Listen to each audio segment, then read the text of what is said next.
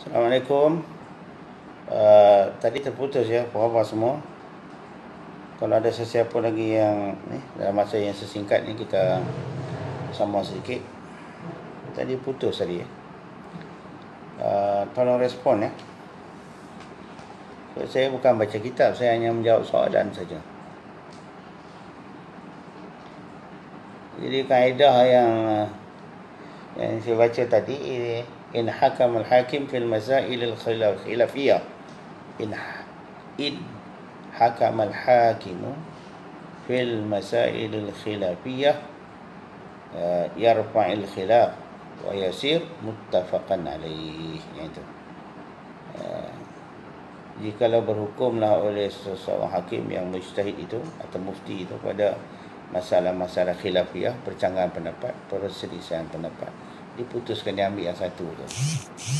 Dan saya terangkanlah khilaf maksudnya tidak boleh dilihat lagi dianggap perkara itu sebagai perkara khilafiah. Bukanlah. Jadi perkara itu dianggap sebagai perkara yang ittifaq. Hmm. Wa yasir muttafaqan alaihi. Ataupun ada satu yang lagi senang nak ingat kan. In hakam al-hakim yarfa'il khilaf. Itu senang. In hakam al-hakim uh, yarfa' al-khilaf. Masya Allah. InsyaAllah ya Ustaz uh, Wan Nasir, apa khabar semua ipuh ya. Uh, jadi tadi tu tak tahu lah ke mana. Yang saya jawab tadi kan. Mungkin ada dalam video yang saya postkan tadi lah. Nanti insyaAllah dia akan timbul semula, semula dalam Facebook. Baik Muhammad Azlan, uh, Ustaz, bilakah waktu yang betul untuk membayar zakat fitrah iaitu sebelum Eh, sebelum sembahyang hari sebelum sembahyang Aidil Fitri. Sebelum imam uh, hadir untuk takbir jadi mula daripada lepas subuh tu kan ha, bayarlah cuba bayar itu yang afdal yang sunat. Tapi kalau bayar awal sepanjang Ramadan harus dan sah semua. Sah zakat tu sah zakat fitrah itu sah. Helmi Ismail okey dah start ya Ustaz. Saya ingat apa yang saya cakap tadi ada tidak tahu? Boleh tengoklah balik banyak juga saya cakap dia kan. Abu Abdul Mutawali, Abu Mutawali, Faris Auda, salam syekh, Waalaikumsalam ya Abu. Apa khabar Mutawali? Soalannya adakah Nabi Adam AS yang masuk tergoda pujuk rayu Hawa untuk makan buah khuldi. Kita tak boleh kata faham je tu pujuk tergoda atau tak tergoda. Sebab bahasa tergoda ni kasar lah. Kita, kita boleh tergoda dengan isteri kita mereka tu maksum Nabi-Nabi tu maksum jadi peristiwa Nabi Adam makan buah kuldi ni jawapan-jawapannya mestilah kita ambil daripada uh, pandangan ulama tauhid, ulama akidah, ulama ahlul kalam. Jadi satu jawapan yang tuntasnya dikatakan itu adalah merupakan sirrul wahyi, hikmah yang sangat besar. Sirrul wahyi itu saja. Itu saja kau panjang-panjang ah. Itu rahsia dia. Ha dan tak boleh uh, kita guna istilah-istilah lafaz-lafaz yang walaupun pada zahirnya kita mungkin kita anggap tu satu salah satu dosa. Memang kita bersihkan akidah kita. Jangan kita langsung ter, terguris tercetus dalam hati pribadi mukmin itu yang Nabi Adam tu pernah berdosa. Kerana akibat daripada melanggar perintah Tuhan. Makan buah khuldi jangan. Salah Uh, sebab semua kalimah-kalimah itu lafaz-lafaz tu kan rawiyah ke apa ke semua tu kan. Uh, itu semua perlu kepada pentafsiran yang telah disesuaikan menurut ilmu akidah dan tauhid. Jadi ulama-ulama semua telah susun. Ulama akidah susun masalah tu. Jadi keputusannya apa-apa juga lafaz-lafaz itu perlu ditakwilkan dia difahamkan sesuai dengan akidah yang asas iaitu para anbiya dan nabi itu rasul-rasul itu uh, tidak berdosa. Tidak berdosa. Uh,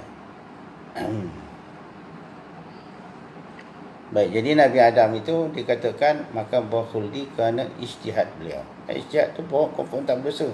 Kalau kita yang tidak nabi ni umat nabi Muhammad sallallahu alaihi wasallam ni berijtihad pun tidak berdosa. Mau Mau kita boleh kata Nabi berdosa? Nabi berijtihad berdosa? Boleh? Tak masuk akal tu. Lagi satu, mereka yang banyak sangat, sangatlah tengok Zohir. Tak ikut, tak ikut ulama kan. Jadi, mereka tu akibah daripada kekurangan uh, belajar ilmu alat. Ilmu mantik tak ke mana.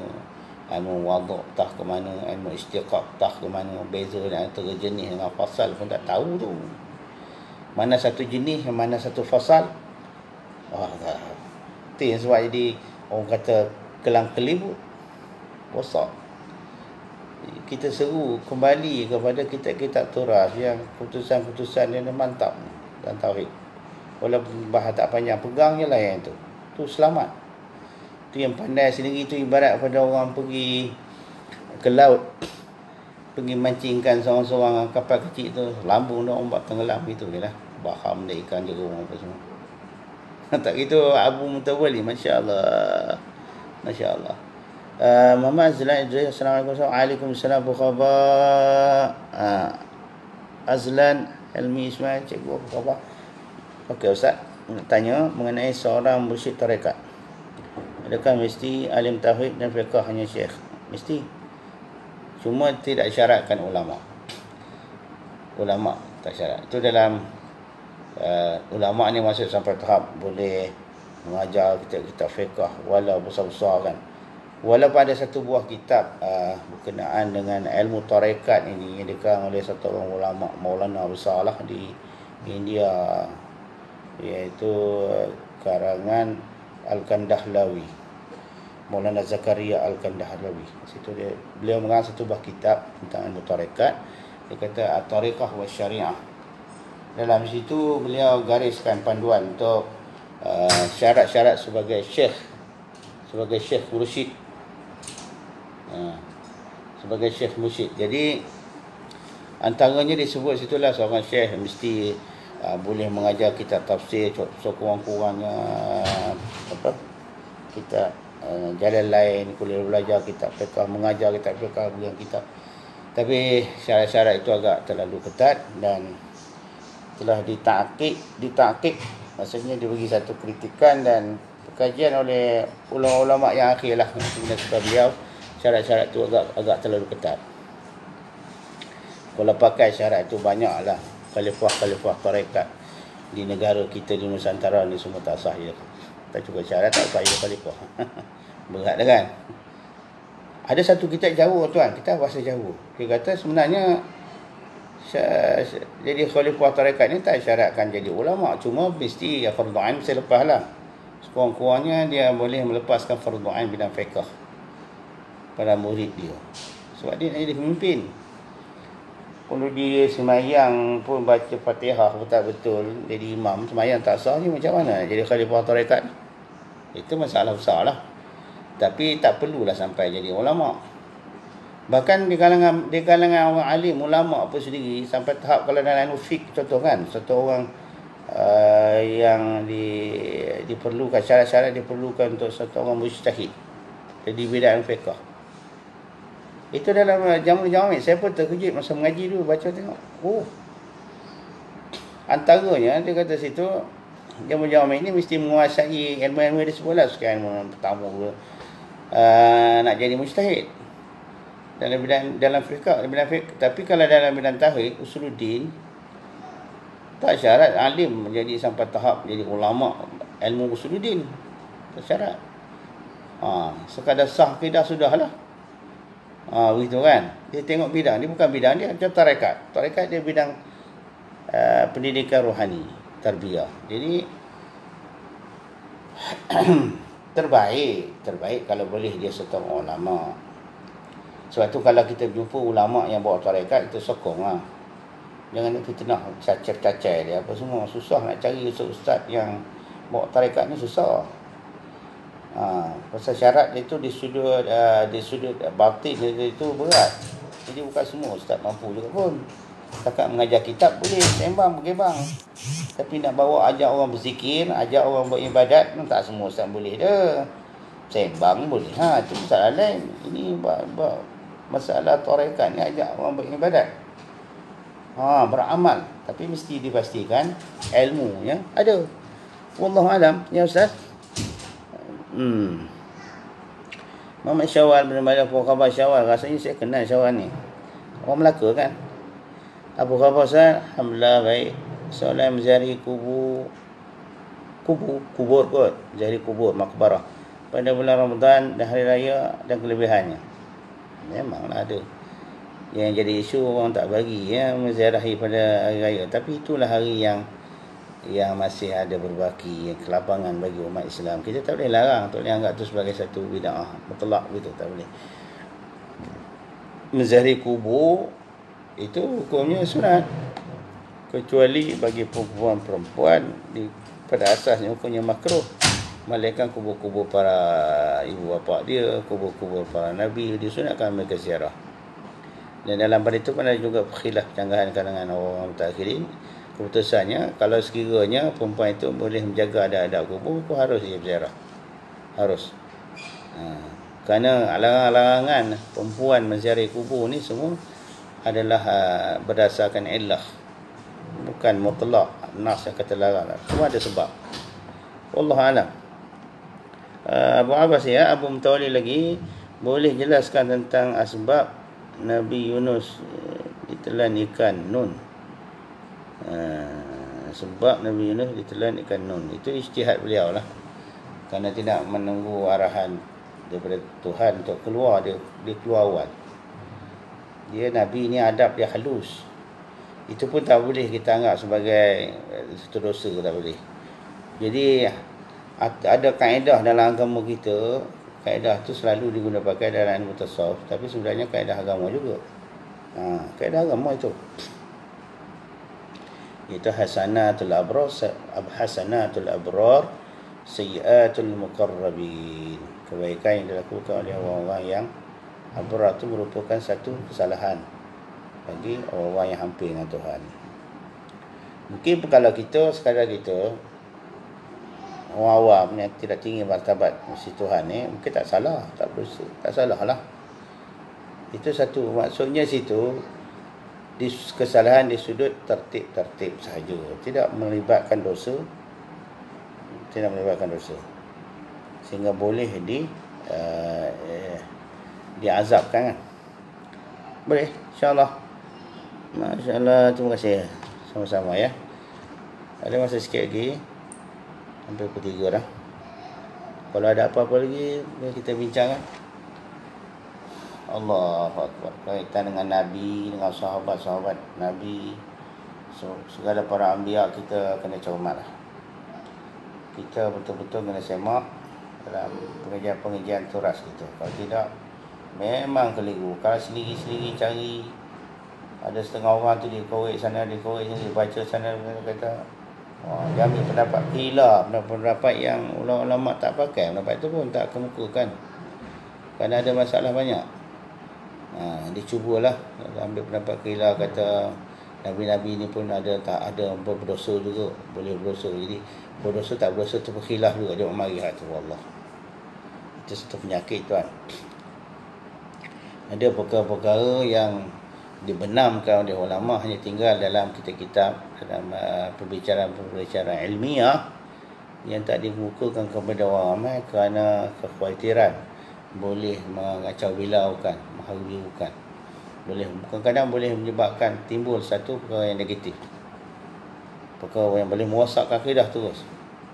Jadi sengaja mereka uh, tidak bincang cara terbuka mereka dalam perbincangan ilmiah. Dan kadang-kadang salah satu sebabnya kerana perkara itu kadang tidak putus baru tahap kajian tak diputuskan lagi faham maksud saya eh?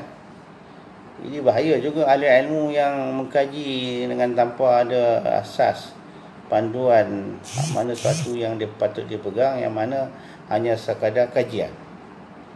Itu kena ada tu. Kalau tidak rosak. So, kita bukan sekadar untuk di dunia ni saja sebab nak tanggungjawab di akhirat. Allahu Akbar. Masya Allah. Muhammad Izzat Izzat Zaidi tuan uh, Masya Allah. Apa khabar? Saya dah lama teringin nak join tarekat boleh tuan guru cadangkan siapa mursyid-mursyid yang boleh saya cari di Pulau Pinang. Barakallahu fiikum. Ha, Pulau Pinang. Yang itu PM saya lah. Ataupun boleh tanya mana-mana uh, guru-guru yang tuan rasa tuan percaya dia boleh uh, boleh tolong bimbing. Uh, tanyalah mereka. Tapi pastikan sebelum kita cebur yang bertarekat ni kita sudah mantap dengan ilmu akidah dan ilmu syariah dan ilmu akhlak. Dan kalau sudah bertarekat pun jangan sekali-kali meninggalkan pengajian berkitab kena bercampur gaul bergaul dengan para ulama. Kalau tidak banyak yang hanyut. Yang hanyut. Kita tak kata salah ke tak salah tu bukan masalah dia bukan, bukan bahas bahas dia dah. Salah ke sesat ke tak sesat tapi, tapi hanyut lah. Biasanya hanyut. Dibawa hadi dia ke macam-macam lah. Ok uh, Muhammad Sirmadi soalan. Solat berjemaah jarak satu meter antara jemaah lain adakah dibolehkan ustaz di musim covid ini? Saya dah jawab itu. Oleh kerana perkara itu masyarakat menyusahkan darurat kan? Ada situ zanniyah yang boleh menyebabkan jangkitan walaupun tidak ada buktinya tapi ada zan gitu tu boleh diambil kira tambahkan perkara wabak. Kalau berdasarkan kepada fatwa Ibn Hajar kata istimak tu sendiri dah bilang ah. tapi oleh kerana nak menghalusi lagi mungkin menghalusi istimak yang betul-betul dilarang tu. Kerana keadaan-keadaan lain juga diguna pakai. Iaitu dia kata al-darurah yuqaddaru biqadariha. Cuba. Tapi kalau masalah wabak sebenarnya confirm dah confirm dah tak boleh berhimpun. Tapi oleh kerana di uh, diteliti lagi mungkin dengan sebab jarak-jarak itu atas uh, itu pun atas uh, uh, atas uh, maklumat yang diperolehi daripada Kementerian Kesihatan orang yang memang taksis dia bahagian itu bukan? Bahagian uh, penyakit-penyakit ni bahagian mereka lah Kementerian Kesihatan. Mengatakan jarak uh, satu meter atau dua meter itu uh, risiko dia tak ada. Jadi kalau tak dasar tu boleh lah. Tak fatwa mufti mereka bertanggungjawab boleh. Dapat pahala tak dapat mudah-mudahan dapat. Kerana perkara tak sengaja tu supo je masalah orang tak boleh pergi semayang Jumaat biasa pergi tiba-tiba tak boleh pergi. Hati ni nak pergi dapat pahala dapat. Alal khilaf dapat.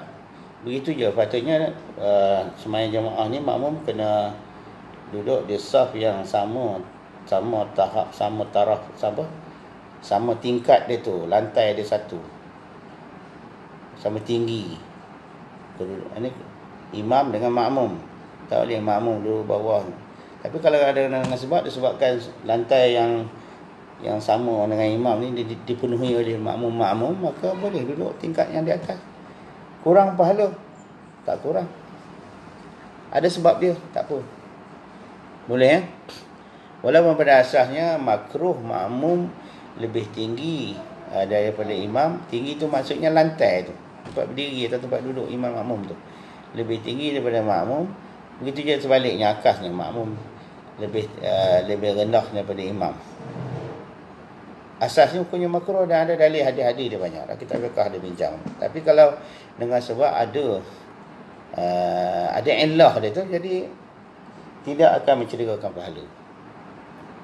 Okey saya ingat ada juga fatwa orang apa syekh-syekh di luar sana kan.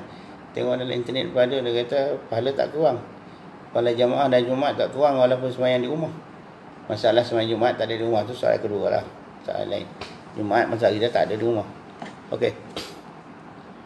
Muhammad Sirmadi boleh ya Muhammad Sirmadi terima kasih. Datuk Idham. Siapa ya? Masya-Allah Datuk. Uh, terima kasih Muhammad Syawal sama-sama. Okey, ada lagi soalan yang Muhammad Syawal ya. Apakah kedudukan bapa Nabi Ibrahim? Sebab di sekolah dulu ada mengatakan bapa Nabi Ibrahim pungkir patung berhala. Adakah bapa Nabi Ibrahim ahli tauhid bukan musyrik atau sebaliknya? Jadi apa yang kita faham daripada kalam para ulama akidah kita lah. Asy'ariyah Maturidiyah ni setuju kata Nabi Ibrahim tu bapa Nabi Ibrahim yang bernama Azar tu kan.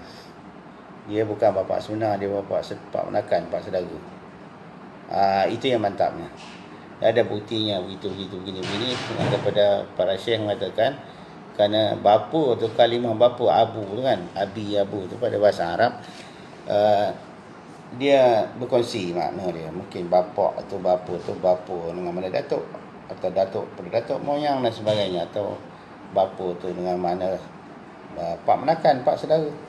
Tapi yang Nabi Ibrahim tu memang pak saudara lah.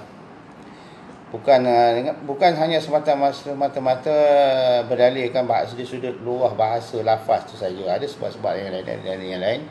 Hadis-hadis yang menyokong ayat Quran yang menyokong yang memahamkan maksudnya yang mana Nabi sallallahu alaihi wasallam ni keturunan baginda adalah semuanya datuk-datuk nenek moyang semua orang yang beriman wa taqallubaka fis sajidin itu ayat Quran taqallub maksudnya berbolak-balik di kau maksudnya benih zuriat Nabi tu itu benih Nabi tu kan daripada turun titih daripada datuk pada Nabi Adam turun pada Nabi tu seorang Nabi Nabi seorang turun, turun sampai kepada bapa dia Abdullah bapa baginda iaitu Said Sayyidah Sayyidina Abdullah sampai kepada Abdullah tu semuanya orang yang beriman. Kerana as-sajidin itu uh, orang yang bersujud pada Tuhan tu maksudnya orang yang beriman, orang mukmin.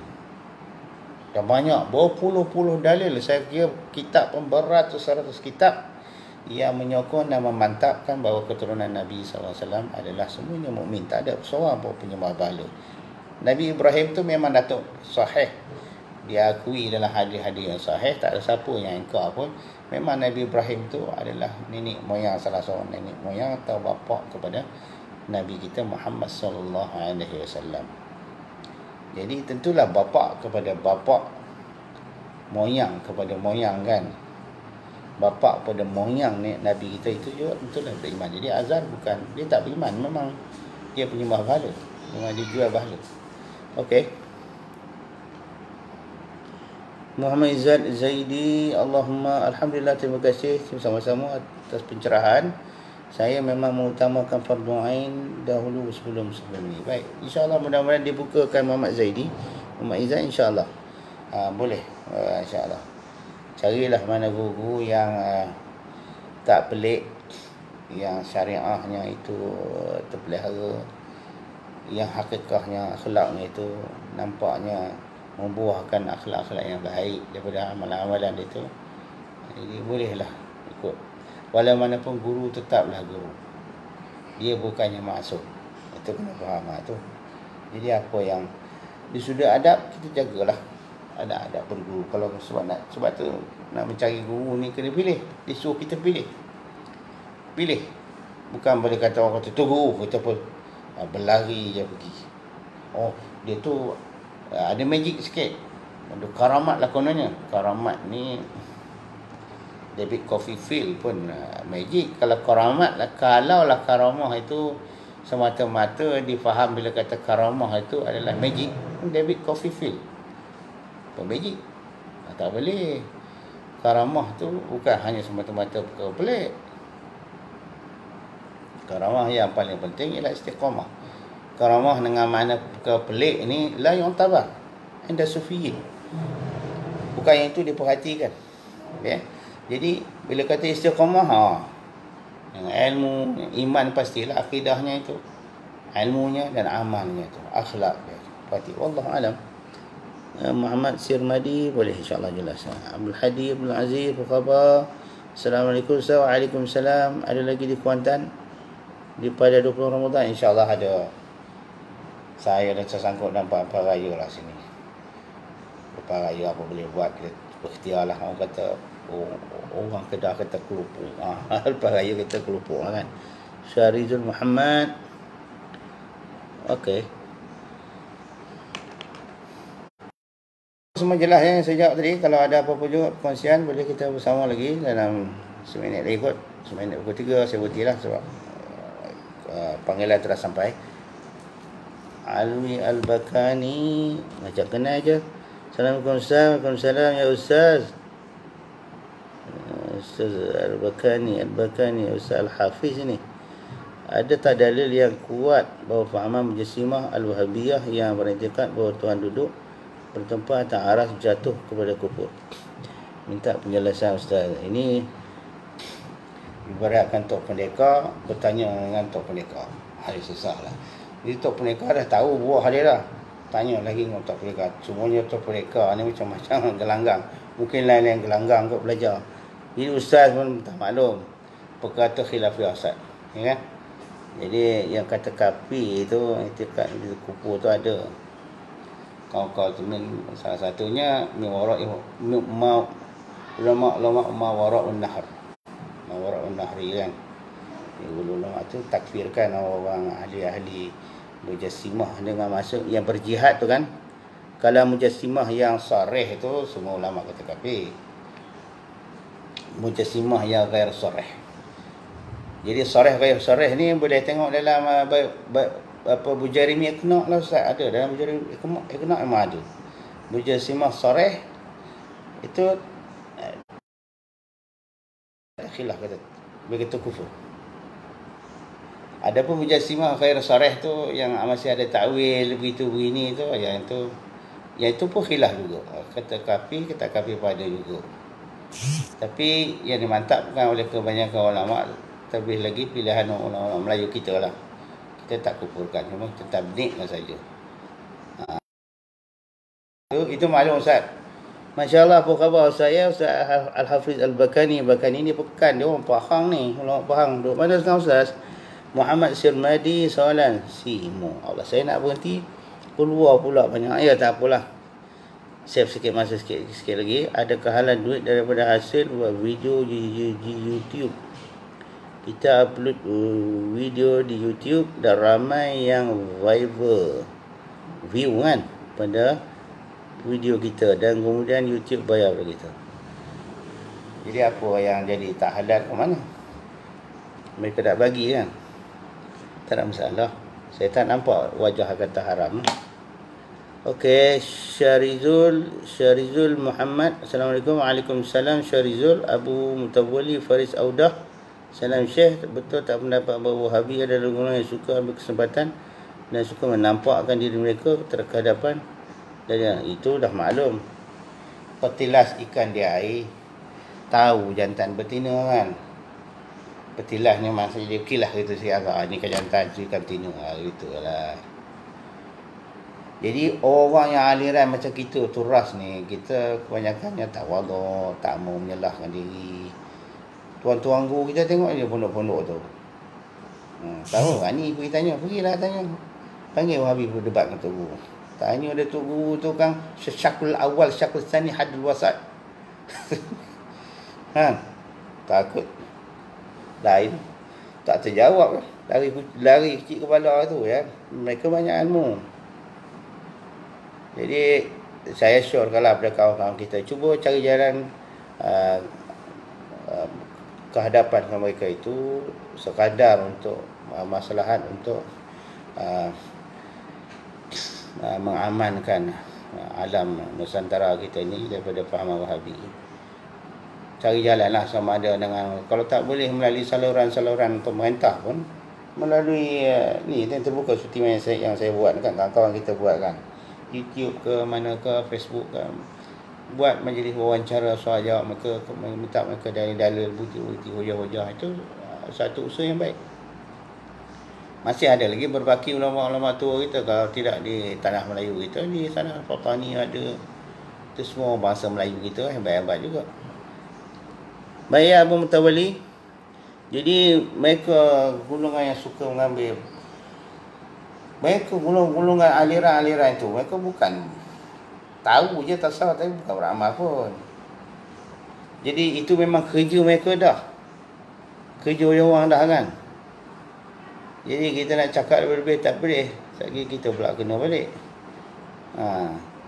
Sehingga, sehingga timbul kan? Timbul uh, satu fahaman yang kata ulama ni orang alim ni sebenarnya alim ni mesti lemah lembut mesti ada hikmah ha, gitu jadi kalau kasar-kasar bukan orang alim ilmu tak dipakai betul ke faham gitu ha? jadi kita pun pun patutnya macam ulama kita ni kalau dia sudah dakwah kena ikut rentak lah macam mana sekadar je saya kasar-kasar tak boleh juga kan. Lari orang. Quran pun kata begitu. Tadi tu Ustaz Abu Mutawali. Jadi kalau mereka suka ambil kesempatan, kita kita pun kena ambil kesempatan puak kita. Sebab tu kalau ada nama-nama saya dah showkan beberapa kali dalam grup-grup asatiza. Sesiapa saya, saya anggap lebih dari, dari 10 orang nama-nama yang telah dinaikkan, dipopularkan di uh, internet kan. Diviralkan nama-nama tokoh-tokoh ulama-ulama kita, ulama muda kita sebagai calon mufti wilayah persekutuan. Jadi siapa saja yang uh, yang ada kemampuan tu uh, ambil jawatan tu jangan tolak. Kesian kau orang ramai kita tu. Berumut dalam internet je kita ni. Kita duduk berumut duduk marah. Ha, tapi tak boleh gitu. Tolong kita atas bukan untuk peribadi kita untuk umat. Untuk umat Melayu supaya kembalikan balik kecemaralangan ulama-ulama kita zaman dulu kan baik Muhammad Syawan insyaAllah kita jumpa lagi saya rasa cukup lah sekarang ni terima kasih semua Ustaz tuan-tuan, kawan-kawan sahabat handai kita orang soleh semua para wali pun semua ni yang beramal dalam puasa doakan saya panjang umur sihat, murah rezeki. Boleh bertemu lagi selepas daripada PKP ni kita jumpa lagi insyaallah. Assalamualaikum warahmatullahi wabarakatuh.